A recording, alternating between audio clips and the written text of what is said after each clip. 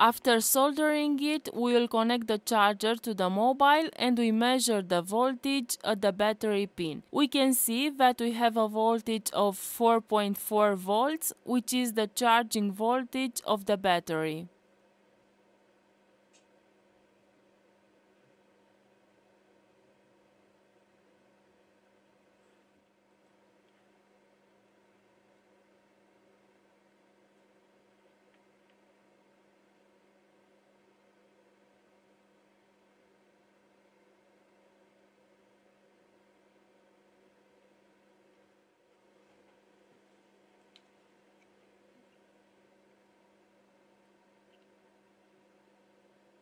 We will also measure the voltage of the battery. It seems that the battery has lost most of its charge and it's protected. If the battery is below 3 volts, the mobile will never turn on.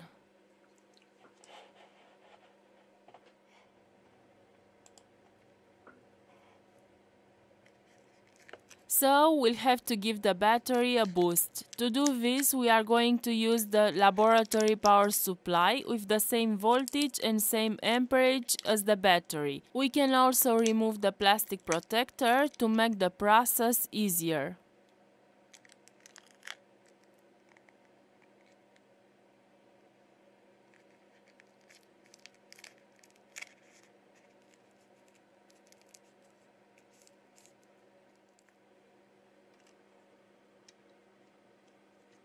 We connect the flex that connects the motherboard and the sub motherboard and we connect the battery connector. Then we connect the charger and we wait.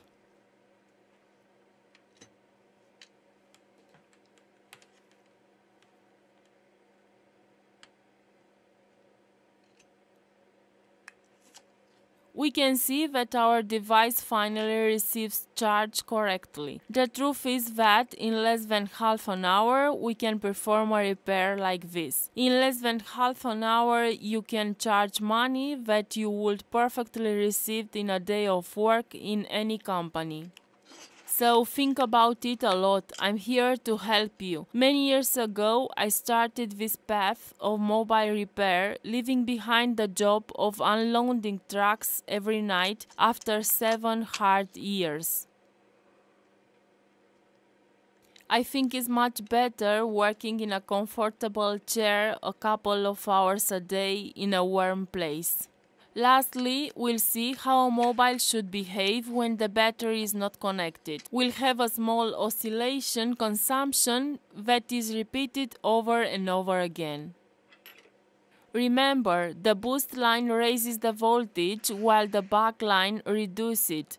We repeated the boost input voltage and the buck output voltage. These are the two important voltages on the motherboard. Then we have other voltages like the charger voltage, but the most important is to master these two ones.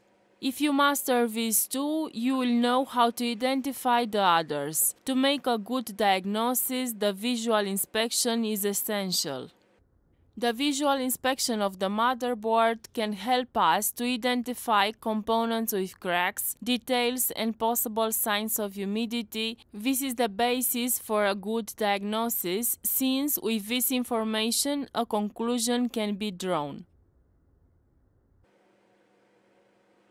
Let's repeat it. On Samsung devices, when we have consumption from 140 to 210 milliampere, we can have problems with the memory and CPU. And for Xiaomi, Realme, Oppo, Huawei, Pocophone, we can have consumptions between 50 and 80 milliampere plus the same memory and CPU problems. If the device doesn't turn on and when we connecting the USB cable to the computer, an unknown driver is shown, this can indicate a problem in the device memory or CPU. If our computer recognizes it as Samsung S10 driver, for example, then we rule out the CPU and the memory. Write down all these tricks in a notebook, please.